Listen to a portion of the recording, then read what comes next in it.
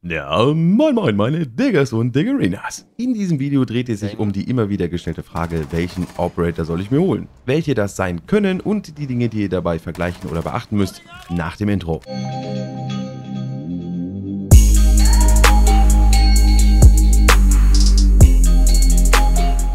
Ich werde versuchen, alle möglichen Aspekte wie euren Spielstil oder eure Geschwindigkeit, die ihr gerne spielt, zu berücksichtigen. Immer wieder bekomme ich von euch Nachrichten im Chat oder sonst wo zum Thema, soll ich mir Operator X oder lieber Y holen? Und daher dieses Video. Fangen wir mit der ersten Sparte an und das wären die Operator in der Verteidigung. Da hätten wir zum einen Legion. Und Legion ist fast schon ein Must-Pick. Seine Guminen eignen sich perfekt, um Fenster, Türen, Gänge, Räume oder auch das Objective zu sichern, je nachdem welchen Modus ihr spielt. Nicht umsonst wird er auch sehr oft gepickt. Es kann als Angreifer schon echt hart nerven, wenn man in eine seiner Guminen tritt und sogar ein Push kann durch seine Minen gestört werden. Seine Waffe ist definitiv brauchbar, zumindest die SMG und man kann noch zwischen einer Impact-Granate und einem Schild wählen. Aufgrund seiner Werte und der Fähigkeit empfehle ich ihn On-Spot oder eher noch Near-Spot zu spielen. Klar können seine Fallen von Waffen, der Twitch-Drohne oder einer EMP-Granate zerstört werden. Es ist aber oftmals so, je länger die Zeit verstreicht, desto weniger achten einige Spieler auf die Minen. Und ich rede natürlich von denen, die noch nicht zerstört wurden. Ne? Seine Waffe macht zwar nur 30 Schaden, hat allerdings eine Feuerrate von 900 und das geht definitiv klar. Ich finde Legion ist einer der sinnigsten Operator aus den DLCs. Team Kanada kommt mit Frost. Viele wissen, wie man ihre Matten kontert, viele wissen es anscheinend noch nicht. Ich persönlich renne wenig in Fallen, bin allerdings dann damit beschäftigt, diese zu finden und zu zerstören. Was natürlich abhängig davon ist, ob ich einfach so rankomme oder ob ein Gegner zwischen mir und der Matte steht, dann muss ich den erstmal rausnehmen. So, wie bei Legion, moin, können Fenster, Türen, etc. mit einer Matte gedeckt werden. Oder auch Gänge nicht zu vergessen. Lasst euer Kreativität frei laufen. Frost empfehle ich ganz klar als Near-Spot oder On-Spot Operator. Roman kann man zwar, aber da gibt es bessere Alternativen. Kleiner Fun Fact, ich habe mal einen Doc Roman sehen, das ganze Spiel über. War nicht funny. Falls man sie in der Nähe ihrer Fallen spielt, hat man auch gleich den Vorteil, wenn jemand reinspringt und injured ist, dann kann man sich gleich mal den Frag holen. Ihre Waffe, die SMG, für die ich Black Eyes hab, macht 43 Schaden bei einer Feuerrate von 575, ist auch in Ordnung. By the way, in der neuen Season wird ihr Schild rausgenommen und sie bekommt dafür die neue kugelsichere Kamera. Das heißt, mit Operation Parabellum haben Frost, Castle, Doc und Mute keinen Schild mehr und Cavera und Vigil keinen Stacheldraht mehr als kleine Zusatzinfo für euch. Damit sind die Fallensteller eigentlich durch. Ich gehe nicht auf die ursprünglichen Operator ein, weil man sich von den Boys natürlich fast jeden holen kann, ob im Angriff oder in der Verteidigung. Gut, außer den Lord, aber der ist auch mehr ein Fun-Operator. Besonders nützlich ist er nicht. Aber es ist der Lord. Außerdem dürften die meisten von euch die Standard-Operator sowieso schon alle haben. Mal Hand aufs Herz, nur ganz kurz, diese Frage, welchen Operator soll ich mir holen, hängt echt ganz stark davon ab, was euer Spielstil ist und welche Fähigkeit ihr besonders gut findet, beziehungsweise wovon euer Team am meisten profitieren würde. Es gibt auch Teams, da muss zum Beispiel jemand eine Hibana spielen, weil sein Kumpel die nicht hat, obwohl derjenige lieber etwas anderes als Hibana spielen würde. Sowas gibt es auch. Wie ihr eure Entscheidungen zum Kauf leichter trefft, erkläre ich aber gleich nochmal.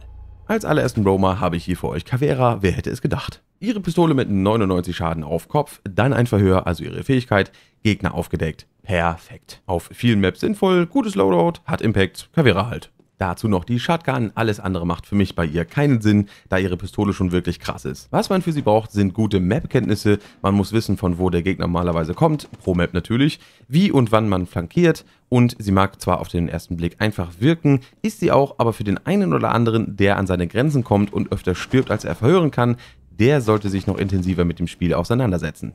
Aber nicht umsonst habe ich einen Roma Guide gemacht, guckt mal unten in die Videobeschreibung. Wer nicht so gutes Aim hat, kann das zum einen trainieren und zum anderen die Schrotflinte nehmen. Es ist sowieso immer besser, nah am Gegner zu sein, damit man möglichst schnell ein Verhör durchführen kann. Bei Cavera gehen die Meinungen zwar auseinander, ich finde sie trotzdem sehr stark, gerade für schnelle Spieler, die immer wieder die Position wechseln und alles abgrasen wollen auf der Map. Außerdem ist sie super, um den Flow des Angreiferteams zu stören. Vigil! Ich kenne wenige gute Vigil-Spieler, dabei ist er mega gut für Top-Fragger, also Spieler, die gutes Aim haben, haben aber auch ein hohes Verständnis vom Spiel und dementsprechend mit vielen Kills aus dem Game gehen. Aber Kinder, merkt euch, viele Kills sind nicht alles in Rainbow Six. Seine Fähigkeit hilft ihm, nicht ausgedroht zu werden. Aber die Boys werden trotzdem wissen, irgendwo in der Nähe der Drohne muss Vigil sein.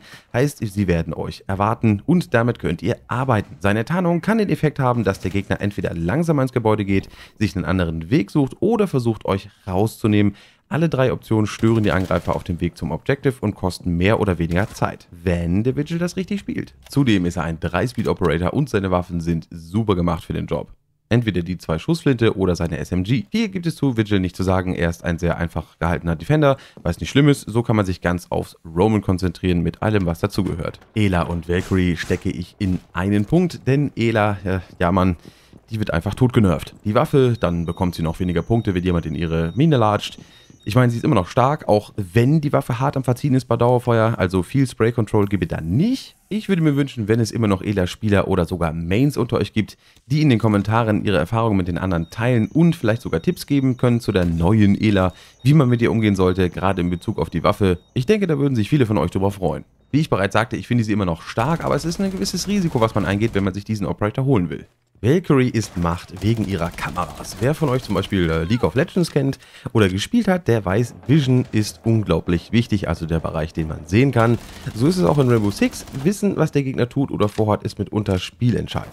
Valkyries Waffe mag nicht die beste sein, ich weiß das, aber mit dem richtigen Aim ist alles möglich. Plus, man muss nicht immer auf Kills gehen, man kann sie auch On-Spot oder Near-Spot spielen, um den Gegner am Ende in den Rücken zu fallen. Echo und Mira vergesse ich natürlich nicht, sind beides On-Spot-Verteidiger aller allerhöchstens Near-Spot, aber niemals mit den beiden Roman gehen. Echos Drohne bzw. mit Parabellum kommen ja zwei Drohnen, sind immens wichtig, vor allem in der letzten Phase. Sollte der Gegner versuchen, die Bombe zu placen, könnt ihr das mit dem Impuls aus der Yokai-Drohne stoppen und den Plant so stören. Er ist völlig unterschätzt, finde ich. Er ist auch einer von diesen Operatoren, die wirklich nützlich sein können. Seine Waffe macht zwar nur 30 Schaden, aber kompensiert das dank einer Feuerrate von 800 ganz gut. Außerdem hat er ja noch die B-Ring als Zweitwaffe. Wer also gerne On-Spot spielt und das Team supportet, der ist mit Echo gut bedient. Nachteil ist natürlich, dass man eine gute Position braucht, um lange in der Drohne bleiben zu können, ohne direkt rausgenommen zu werden. Mira haben wir auch noch und sie hat mit ihren Fenstern und ihrer extremen Feuerrate auf der Vector eine Daseinsberechtigung. Beide Operator sind auf vielen Maps einsetzbar und eine gute Ergänzung zum Line-Up. Man hat ein gewisses Risiko bei beiden, einmal wenn die Yokai zerstört sind und wenn die Mira-Fenster geöffnet sind. Ich denke allerdings, jeder weiß, wie ätzend Mira-Walls sein können, wenn man im äh, Attack ist. Äh, ihr Vorteil ist natürlich, sie kann Gegner sehen, bevor sie gesehen wird, wenn sie sich hinter ihrem Fenster befindet. Damit habe ich jetzt alle DLC-Operator in der Verteidigung durch, welche ich euch guten Gewissens empfehlen kann. Legion, Frost, Cavera, Vigil, Echo, Myra und Valkyrie. Über Alibi wird noch ein eigenes Video kommen, aber auch sie empfehle ich jetzt schon. Sie ist schnell, hat eine hohe Feuerrate auf ihrer SMG und eine nice Fähigkeit mit den Hologrammen. Maestro empfehle ich nur bedingt, aber dazu mehr, wenn Parabellum erschienen ist. Ich komme darauf zurück, euch die Entscheidungen beim Kauf von Operatoren zu erleichtern. Ihr müsst darauf achten, wie ist euer Team aufgestellt. Habt ihr überhaupt ein Team? Spielt jemand Mains? Und wie spielt ihr selbst eigentlich? Allein diese Punkte sind wichtig, denn ihr müsst euch mit den Operatoren wohlfühlen. Es bringt nichts, sich zum Beispiel einen Echo zu kaufen und am Ende sagt man so, nö, den mag ich eigentlich gar nicht und ich bin auch mehr der Roamer. Dann kommen Cavera oder Vigil eher in Frage. Übrigens soll dieses Video auch Leuten helfen, die zum Beispiel kein Geld für einen Season Pass oder so haben, die sich damit äh, schwer tun, welchen Operator sie nehmen müssen, denen möchte ich so ein bisschen die Entscheidung erleichtern. Und vielleicht helfe ich ja dem einen oder anderen sogar. Kommen wir jetzt noch zu den Attackern, aber diesmal ein bisschen schneller, damit das Video keine Überlänge nimmt. Da empfehle ich unter anderem sehr, sehr stark IQ. Sie wird immer wichtiger, da unter anderem Twitch nur noch maximal 10 Dartpfeile hat und auch die MP-Granate von Thatcher nicht mehr alle gegnerischen Gadgets zerstört. Ihre Fähigkeit ist also umso wichtiger geworden. Noch dazu ist sie ein 3-Speed und hat Granaten. Und das macht sie definitiv zu einem sehr, sehr guten Pick. Sie ist zwar kein DLC-Operator, aber in Zeiten so vieler Gadgets ist sie extrem wichtig, vergesst das bitte nicht. Und auch Team Kanada spielt hier wieder mit. Seine Fähigkeit ist die Unterlaufschrotflinte und die ist auf Maps wie zum Beispiel Chalet mega wichtig. Sie ist also gut, um Decken als auch Böden zu öffnen. Ich persönlich mag sein Sturmgewehr überhaupt nicht. Das macht ihn allerdings noch lang nicht zu einem schlechten Operator. Man kann mit ihm zum Beispiel die Gadgets von Bandit ausschalten, wenn man vertikales Gameplay macht und eben durch die Löcher in Decken und Böden einzelne Gegner rausnehmen. Hibana. Sie ist ein 3-Speed-Operator und hat auch eine ganz gute Bewaffnung. Ihre Fähigkeit, also der X-Kairos-Werfer, der kann zum Beispiel Dropper bzw. Hatches aufmachen oder auch verstärkte Wände bis zu einem gewissen Punkt. Sie übernimmt eine sehr wichtige Rolle und ist auch einer der Operator, die ich mitempfehlen würde, sie definitiv zu kaufen. Auch die letzten beiden fasse ich zusammen und zwar Ying und Sophia. Ying eignet sich zum Beispiel sehr, sehr gut dafür, einen Push durchzuführen, indem sie einfach ihre Candelas in den Raum wirft, die Gegner flasht und sie dann zu Tode gepusht werden. Vor allem gerade nachdem der LMG-Schaden erhöht wurde. Mit Sophia erhält man natürlich auch ein paar sehr starke Waffen, aber auch eine sehr starke Fähigkeit. Denn mit ihrem Double Barrel Launcher kann sie nicht nur unverstärkte Wände zerstören, sondern zum Beispiel auch Schilde, die die Verteidiger aufgestellt haben, als auch Elaminen quasi in Granatenform in den Raum schießen. Dadurch werden die Verteidiger verlangsamt und auch so ein bisschen gestunt. Ich denke mal, ich habe die Frage, welchen Operator soll ich mir holen,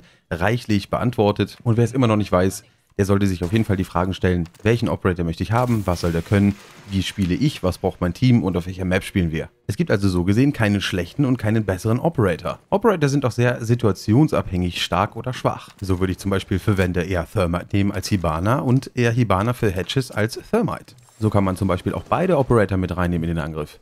Ich würde sagen, das war es jetzt mit dem Video. Es ist ein bisschen umschweifend geworden, wirklich langatmig geworden, aber wer bis jetzt dran geblieben ist, da freue ich mich drüber und ich würde jetzt sagen, ich bin raus, euer Olix und ciao.